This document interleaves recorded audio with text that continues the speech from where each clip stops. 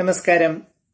രാരിച്ചൻസ് positive thinking YouTube ചാനലിലേക്ക് ഒരിക്കൽ കൂടി എല്ലാവർക്കും സ്വാഗതം. ഇന്ന് ഞാൻ നിങ്ങളോട് പങ്കുവയ്ക്കുവാൻ ആഗ്രഹിക്കുന്നത് പഴയ കാലത്ത് പഴയ കാർന്നവന്മാര് ചില കാര്യങ്ങളൊക്കെ അതായത് വിവാഹശേഷം ഉടനെ അതായത് ഉടനെ മീൻസ് ഒരു തൊണ്ണൂറ് ദിവസത്തേക്കെങ്കിലും ചെയ്യരുതാത്ത ചില കാര്യങ്ങളെക്കുറിച്ച്. വലിയ കാരണവന്മാരൊക്കെ നമ്മളോടൊക്കെ പറഞ്ഞു തന്നിട്ടുണ്ട്. അത് ഇപ്പോഴത്തെ തലമുറയ്ക്ക് യാതൊരു അറിവും അതിനെക്കുറിച്ച് കാണാൻ സാധ്യത കുറവാണ്.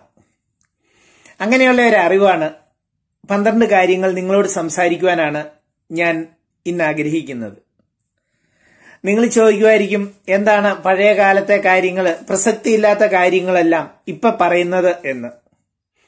തീരെ പ്രസക്തിയില്ലാത്തത് എന്ന് പറയാൻ പറ്റുകയില്ല. അങ്ങനെയുള്ള പല അനുഭവങ്ങളും ഉണ്ടായിട്ടുള്ള അതായത് ഇത് ഈ കാര്യങ്ങൾ ചെയ്ത് പല പ്രശ്നങ്ങളും ഉണ്ടായിട്ടുള്ള നവദമ്പതികൾ ഉണ്ടായിട്ടുള്ളതായിട്ട് എനിക്ക് പേഴ്സണലായിട്ട് അറിയാം. അപ്പൊ ഞാൻ ഇങ്ങനെ ആലോചിച്ചപ്പം വെല്ലിപ്പൻ അന്ന് കാരണം എന്നാ വെച്ചാൽ ഞാൻ വെല്ലിപ്പന്റെ കാര്യം പറയാന്ന് വെച്ചാൽ ഞാൻ ചെറുപ്പം തൊട്ട് വളർന്നത് വെല്ലിപ്പന്റെയും വെല്ലിമ്മയുടെയും കൂട്ടത്തിലായിരുന്നു. പൂഞ്ഞാറ്റിലായിരുന്നു. കോട്ടയം ജില്ലയിലുള്ള പൂഞ്ഞാർ എന്ന സ്ഥലത്തായിരുന്നു ഞങ്ങളുടെ വീട്.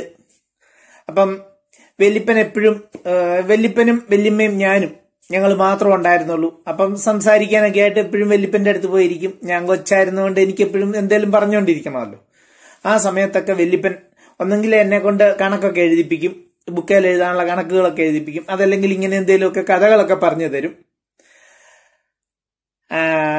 പിന്നെ വെല്ലിപ്പന്റെ അപ്പന്റെ കാര്യങ്ങളൊക്കെ പറഞ്ഞു തരും. സ്കറിയാച്ചേട്ടൻ എന്നായിരുന്നു വെല്ലിപ്പന്റെ അപ്പന്റെ പേര്. പുള്ളിക്കാരന് മണിയംകുന്ന് സെന്റ് ജോസഫ് ചർച്ചിൽ കപ്പ്യാരായിരുന്നു. പിന്നെ ഞാനും എന്റെ ജോലി കാര്യങ്ങളൊക്കെ ആദ്യം തുടങ്ങുന്നത് ഒമ്പത് വയസ്സുള്ളപ്പം ഞാനും മണിയംകുന്ന് സെന്റ് ജോസഫ് ചർച്ചിൽ. ഒമ്പത് വയസ്സ് തൊട്ട് ഏതാണ്ട് പന്ത്രണ്ട് വയസ്സ് വരെ. പന്ത്രണ്ട് പതിമൂന്ന് ഏഴാം ക്ലാസ്സിൽ പഠിക്കുന്ന സമയം വരെ. നാല് തൊട്ട് ഏഴ് വരെയുള്ള സമയത്ത് ഞാനും അവിടെ കപ്പിയാരായിട്ട് ജോലി ചെയ്തിട്ടുണ്ട്. അപ്പൊ ഇങ്ങനെയൊക്കെയുള്ള കാര്യങ്ങൾ കൊണ്ട് പഴയ കാര്യങ്ങളിലൊരു എനിക്കും ഇങ്ങനെ ചെറുപ്പത്തിൽ തൊട്ട് കേട്ട് ശീലിച്ചതുകൊണ്ട് പഴയ കാര്യങ്ങൾ ശ്രദ്ധിക്കാനും ആ കാര്യങ്ങളിലുള്ള പിന്നത്തെ ഉള്ള ജീവിതത്തിൽ ഇങ്ങനെയുള്ള കാര്യങ്ങൾ വരുമ്പം ഞാൻ അന്നേരെ ചിന്തിക്കും. ആ അങ്ങനെ എന്നോട് വെല്ലിപ്പൻ പറഞ്ഞിട്ടുണ്ടായിരുന്നല്ലോ എന്ന്. വെല്ലിപ്പൻ പറഞ്ഞിട്ടുണ്ടായിരുന്നല്ലോ എന്ന്. എന്റെ വല്യപ്പന്റെ പേര് ജോസഫ് സ്കറിയ എന്നായിരുന്നു. കറുകപ്പള്ളി ലൗസേപ്പേട്ടൻ എന്ന് ആൾക്കാരൊക്കെ വിളിക്കുമായിരുന്നു. ഞങ്ങൾ പൂഞ്ഞ കോട്ടയം ജില്ലയിലുള്ള പൂഞ്ഞാർ മുക്കുഴി എന്ന സ്ഥലത്താണ് താമസിച്ചുകൊണ്ടിരുന്നത്. അപ്പൊ ഞാൻ വേറെ വീട്ടിലാരും ഇല്ല. വലിയമ്മ എന്തേലുമൊക്കെ പണിയായിരിക്കും. വലിപ്പം ഫ്രണ്ടിൽ വീട്ടിന്റെ ഫ്രണ്ടിൽ കാണും. ഞാനും അവിടെ പോയിരിക്കും. അങ്ങനെ ഇരിക്കുന്ന സമയത്തൊക്കെ ഇങ്ങനെ ഓരോ കാര്യങ്ങൾ പഴയ കാലത്ത് എന്തൊക്കെയാണ് സംഭവിച്ചിരുന്നത് പഴയ കാലത്ത് എന്തൊക്കെ അങ്ങനെയുള്ള കാര്യങ്ങളൊക്കെ എന്നോട് പറഞ്ഞു തരുമായിരുന്നു. അങ്ങനെ പറഞ്ഞു തന്ന ഇതിൽ ഞാൻ ഓർക്കുന്ന പന്ത്രണ്ട് കാര്യങ്ങളാണ് നിങ്ങളോട് ഇന്ന് പങ്കുവയ്ക്കുവാൻ ആഗ്രഹിക്കുന്നത്. ഒന്നാമതായിട്ട് കല്യാണം കഴിഞ്ഞ ഉടനെ നവദമ്പതികൾ ഈ കയ്യിൽ കിട്ടുന്ന ബൊക്കെ ഉണ്ടല്ലോ. ബൊക്കെ അതുപോലെ തന്നെ കഴുത്തിൽ ചാർത്തുന്ന മാല ഇങ്ങനെയുള്ള സാധനങ്ങൾ കല്യാണത്തിന് മുമ്പാണേലും കല്യാണം കഴിഞ്ഞാണേലും വിവാഹം കഴിഞ്ഞ ആൾക്കാരുടെ കയ്യിൽ കൊടുക്കരുത് എന്നാണ് പറയുന്നത്. അത് എപ്പോഴും വിവാഹപ്രായമായ അല്ലെങ്കിൽ വിവാഹപ്രായമാകാനുള്ള പിള്ളേരുടെ കയ്യിൽ അല്ലെങ്കിൽ നമ്മളെക്കാളും വിവാഹം കഴിക്കാത്ത ആൾക്കാരെ ആയിരിക്കണം.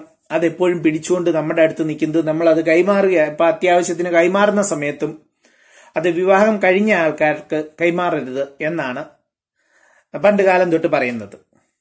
അതുപോലെ തന്നെ കല്യാണം കഴിഞ്ഞു. പിന്നെ നവദമ്പതികൾ ചെയ്യാൻ ചെയ്യരുതാത്ത ഒരു കാര്യം യാതൊരു കാരണവശാലും തർക്കത്തിൽ ഏർപ്പെടാൻ പാടില്ല. അത് അവരുടെ പോസിറ്റീവ്. കാരണം വിവാഹ സമയത്താണ് ചെറുക്കനും പെണ്ണും അവർക്ക് രണ്ടുപേർക്കും അവരുടെ ജീവിതത്തിൽ ഏറ്റവും കൂടുതൽ പോസിറ്റീവ് എനർജി കളക്ട് ചെയ്യാൻ പറ്റുന്നത്. കാരണം എല്ലാവരുടെയും അനുഗ്രഹങ്ങൾ എല്ലാവർക്കും ഹാപ്പി മൂഡ് ഇവർക്ക് തന്നെ ഹാപ്പി മൂഡ്. അങ്ങനെയുള്ള സമയത്ത് ഏറ്റവും കൂടുതൽ പോസിറ്റീവ് എനർജി ഉള്ള സമയമാണത്. ആ സമയത്ത് നിങ്ങൾ തമ്മിൽ പരസ്പരം തർക്കിക്കുകയാണെങ്കിൽ നിങ്ങളുടെ ആ പോസിറ്റീവ് എനർജി നഷ്ടപ്പെടും. അത് നിങ്ങളുടെ ജീവിതത്തെ മുഴുവൻ ബാധിക്കുകയും ചെയ്യും. അതുകൊണ്ട് അറ്റ്ലീസ്റ്റ് ഏറ്റവും ചുരുങ്ങിയത് തൊണ്ണൂറ് ദിവസത്തേക്കെങ്കിലും തർക്കങ്ങളിൽ നിന്ന് ഒഴിവായി നിൽക്കുക. അതുപോലെ രണ്ടാമത്തെ കാര്യം എന്ന് പറഞ്ഞു കഴിഞ്ഞാൽ നിങ്ങൾക്ക് ഇഷ്ടമില്ലാത്തതോ നിങ്ങളിപ്പം വിവാഹം കഴിഞ്ഞു കഴിഞ്ഞാൽ ഉടനെ വിരുന്നിന് പോക്കായി അത് അങ്ങനെയൊക്കെ യാത്രകളൊക്കെ ഉണ്ടാവും. അപ്പോൾ നിങ്ങൾക്ക് ഇഷ്ടമില്ലാത്തതോ നിങ്ങൾക്ക് അരുചി തോന്നുന്നതോ ആയ ഭക്ഷണം എത്ര ഇഷ്ടപ്പെട്ടവർ തന്നാലും അത് വേണ്ട എന്ന് പറയണം അത് കഴിക്കരുത്. അത് കഴിക്കുന്നതും നമ്മുടെ പോസിറ്റീവ് എനർജിയെ അതല്ലെങ്കിൽ നമ്മുടെ മനസ്സിന്റെ ശാന്തതയെ തകർക്കും. അതുപോലെ നിങ്ങൾ ഭക്ഷണം കഴിക്കുന്നത് ബെഡിലിരുന്ന് കാരണം പുതുമണവാളം പുതുമണവാട്ടിയാണ് കിടക്കുന്ന സമയത്തൊക്കെ ആണെങ്കിലും ചിലപ്പോൾ എന്തെങ്കിലും ചിലപ്പോൾ കൊണ്ടുവന്ന് സ്പൂണിലൊക്കെ കൊണ്ടുവന്ന് കോരിത്തരും. അങ്ങനെയാണെങ്കിൽ ബെഡിലിരുന്ന് യാതൊരു കാരണവശാലും ഭക്ഷണം കഴിക്കരുത്. പിന്നെ മൂന്നാമതായിട്ട് നിങ്ങൾ വിവാഹ വസ്ത്രമുണ്ടാവും. ആ വിവാഹ വസ്ത്രം യാതൊരു കാരണവശാലും തലേന്ന് തരിച്ചു നോക്കരുത്. വിവാഹ വസ്ത്രം എപ്പോഴും വിവാഹത്തിന്റെ അന്ന് മാത്രമേ അന്ന് രാവിലെ മാത്രമേ നേരം പുലർന്നതിന് ശേഷം. അതിന് രാത്രിയിലെ വിവാഹത്തിന് മുമ്പാണെങ്കിൽ പോലും രാത്രി തരിച്ചു നോക്കരുതെന്നാണ് പറയുന്നത്. നേരം പുലർന്നതിന് ശേഷം മാത്രം അത് ധരിക്കുക.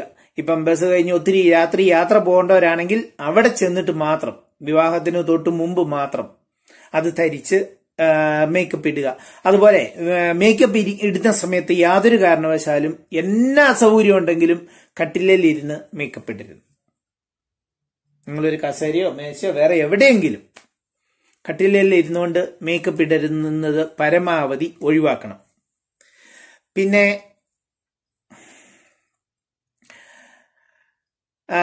അഞ്ചാമതായിട്ട് നിങ്ങൾ അത് കഴിഞ്ഞ വിവാഹം കഴിഞ്ഞാൽ പിന്നെ ഒത്തിരി യാത്രകളൊക്കെ കാണും. ഓരോ എവിടെയാണെങ്കിലും ഓരോ യാത്രകൾ കഴിയുമ്പോഴും എപ്പോഴും നിങ്ങളുടെ മുഖം അതുപോലെ കൈകൾ കാൽ ഇതെല്ലാം വൃത്തിയായതിനു ശേഷം എവിടെയെങ്കിലും വിശ്രമിക്കാനിരിക്കുക. അതുപോലെ തന്നെ ഭക്ഷണം കഴിക്കുന്നതിന് മുമ്പും കയ്യെ കാല മുഖമെല്ലാം വൃത്തിയായിട്ട് കഴുകിയതിന് ശേഷം മാത്രം ഭക്ഷണം കഴിക്കുക. വൈകുന്നേരം നിർബന്ധമായിട്ടും വൈകുന്നേരം കുളിച്ചിട്ട് മാത്രം കിടക്കാൻ പോവുകയും കുളിയും കഴിഞ്ഞ് ഒരു പ്രാർത്ഥനയും കഴിഞ്ഞിട്ട് മാത്രമേ കിടക്കാൻ പോകാവുള്ളൂ. എന്ന തിരക്കാണ് എന്ന ക്ഷീണമാണെന്ന് പറഞ്ഞാലും കുളിക്കാതെ നവദമ്പതികൾ കുളിക്കാതെയും പ്രാർത്ഥിക്കാതെയും കിടന്നുറങ്ങരുത്. അത് കാരണം നിങ്ങൾ യാത്ര ചെയ്ത സമയത്ത് പല ആൾക്കാരുടെ അടുത്തൊക്കെ പോയിട്ടുണ്ടാവും. അവരുടെ അടുത്തൊക്കെ ചിലപ്പോൾ നെഗറ്റീവ് എനർജി ഉള്ള ആൾക്കാരുണ്ടാവും. ഇത് നിങ്ങളുടെ ജീവിതത്തെയും നിങ്ങളുടെ പ്രസരിപ്പിനെയും നിങ്ങളുടെ ആ പ്രസരിപ്പിനെ ഇല്ലാതെയാക്കും. അതുകൊണ്ടാണ് യാത്ര കഴിഞ്ഞു വന്നാൽ പ്രത്യേകിച്ച് വൈകുന്നേരം യാത്ര കഴിഞ്ഞു വന്നാൽ കുളിക്കാതെയും പ്രാർത്ഥിക്കാതെയും യാതൊരു കാരണവശാലും കിടന്നുറങ്ങരുത്. അതുപോലെ ആറാമതായിട്ട് ചെയ്യാൻ ചെയ്യരുതാത്ത കാര്യം എന്ന് പറഞ്ഞു കഴിഞ്ഞാൽ ദുഃഖപര്യവസായിയായിട്ടുള്ള ഇപ്പം നിങ്ങൾ പോയത് കഴിഞ്ഞാൽ ചിലപ്പം സിനിമ കാണും അതല്ലെങ്കിൽ ടി വി കാണും. ഇതിലൊക്കെ ആക്രമണ വാസന ദുഃഖപര്യവസായിയായിട്ടുള്ളത് ഇങ്ങനെയുള്ള വീഡിയോകളോ സിനിമകളോ പരമാവധി കുറെ നാളത്തേന് കാണാതെ ഇരിക്കുക. നിങ്ങൾക്ക് മനസ്സിന് ഇഷ്ടപ്പെടുന്നത് മാത്രം. അതായത് അത് സന്തോഷ പര്യവസായി ആണെങ്കിൽ മാത്രം അത് കാണുക. അതുപോലെ ഏഴാമതായിട്ട് മറ്റുള്ളവരുടെ മുൻപിൽ വെച്ച് ഭാര്യ ഭർത്താക്കന്മാർ തമ്മിൽ മീൻസ് നവദമ്പതികൾ തമ്മിൽ അധിക സ്നേഹം പ്രകടിപ്പിക്കരുത്. അത് നിങ്ങൾക്ക് പണ്ടൊക്കെ എന്നതിന്റെ കാര്യം എന്ന് കൃത്യം എനിക്ക് പക്ഷെ കരിങ്കണ്ണ് കിട്ടും എന്നാണ് അന്നൊക്കെ എന്നോട് പറഞ്ഞു തന്നിട്ടുള്ളത്. നമ്മൾ കൂടുതലായിട്ട് ഇപ്പം പുതിയ ചെറുക്കനും പെണ്ണും കൂടെ ഇവരുടെ തൊട്ട് ഒരുമി എന്തെങ്കിലുമൊക്കെ തുറത്താൻ പറഞ്ഞ് അധിക സ്നേഹം പ്രകടിപ്പിക്കുന്ന കണ്ടു കഴിഞ്ഞാൽ മറ്റുള്ള ആൾക്കാർക്ക് നിങ്ങളോട് അസൂയ തോന്നുകയും നിങ്ങളുടെ മേൽ കരിങ്കണ്ണ് കിട്ടുകയും ചെയ്യുമെന്നാണ് എന്നോട് പറഞ്ഞിട്ടുള്ളത്. എന്താണെന്ന് കൃത്യം എന്തായാലും അങ്ങനെ പ്രകടിപ്പിക്കുന്നത് നല്ലതല്ല. അതുപോലെ കുറെ നാളത്തേന് അപകടം നിറഞ്ഞ് ജോലികൾ ചെയ്യാൻ പോകരുത്. ഭാര്യയായാലും ശരി ഭർത്താവായാലും ശരി അവരുടെ ജോലി ഫീൽഡ് എന്ത് തന്നെ ആയിരുന്നാലും ഇപ്പൊ അപകടം നിറഞ്ഞ ജോലി സ്ഥലത്താണ് നിങ്ങൾ വർക്ക് ചെയ്യുന്നെങ്കിൽ അങ്ങനെയുള്ള ജോലികൾ ഒരു പത്ത് കുറച്ച് നാളത്തേന് തൊണ്ണൂറ് ദിവസത്തിനെങ്കിലും ഒഴിവാക്കണം. അതുപോലെ നവദമ്പതികൾ പരിചയമില്ലാത്ത തോട്ടിൽ കുളത്തിൽ ഇപ്പൊ നിങ്ങൾ യാത്ര പോവും നിങ്ങൾ വിവാഹശേഷം അതിലേക്ക് യാത്ര പോകും യാത്ര പോകുന്ന സമയത്ത് പരിചയമില്ലാത്ത തോട്ടിൽ കുളങ്ങളിൽ ഇങ്ങനെയുള്ള സ്ഥലങ്ങളിൽ ഇറങ്ങി കുളിക്കാൻ ശ്രമിക്കരുത്. അത് വളരെ മോശമാണ് എന്നാണ് പറയുന്നത്. അതുപോലെ തന്നെ പത്താമത് ഉടനെയുള്ള ഡ്രൈവിംഗ് പഠിത്തം പണ്ടൊക്കെ ആയിരുന്നെങ്കിൽ അന്ന് കുതിര സവാരി ആയിരുന്നു. കാരണം ചെറുക്കന് അന്ന് കുതിര പണ്ടൊക്കെ എന്ന് പറഞ്ഞു കഴിഞ്ഞാൽ പണ്ട് കാലത്തൊക്കെ കുതിരപ്പുറത്ത് പോകുന്ന ഒരു സംവിധാനം ഉണ്ടായിരുന്നു. ആ കുതിരപ്പുറത്ത് കുതിര സവാരി ആ സമയത്തെ വിവാഹത്തിന് തൊട്ട് മുമ്പോ വിവാഹം കഴിഞ്ഞോ പഠിക്കരുതെന്ന് പറയുമായിരുന്നു. ഇപ്പൊ എന്തായാലും കുതിര സവാരി പോട്ടെ. ഡ്രൈവിംഗ് പഠനം പരമാവധി കുറച്ച് വിവാഹത്തിന് മുമ്പും വിവാഹത്തിന് ശേഷവും ഒരു മൂന്ന് മാസത്തേക്കെങ്കിലും ഡ്രൈവിംഗ് പഠനം ഒഴിവാക്കുക. പതിനൊന്നാമത് രാത്രിയിൽ യാത്ര ചെയ്യാതിരിക്കുക. പുതുമണവാളിനും പുതുമണവാട്ടിയുമാണ് എവിടെയെങ്കിലുമൊക്കെ പോയിട്ട് സന്ധ്യ ആകുന്നതോടുകൂടിയെങ്കിലും മാക്സിമം വന്നു കഴിഞ്ഞാൽ ഏഴ് മണിയോടുകൂടി എങ്കിലും നിങ്ങൾ നിങ്ങളുടെ ലക്ഷ്യത്തിൽ എത്തിച്ചേരുക നിങ്ങളുടെ യാത്ര അന്നത്തെ യാത്ര അവസാനിപ്പിക്കുക. അത് ഏറ്റവും വളരെ പ്രാധാന്യത്തോടെ നിങ്ങളെല്ലാവരും ശ്രദ്ധിക്കേണ്ട ഒരു കാര്യമാണ്.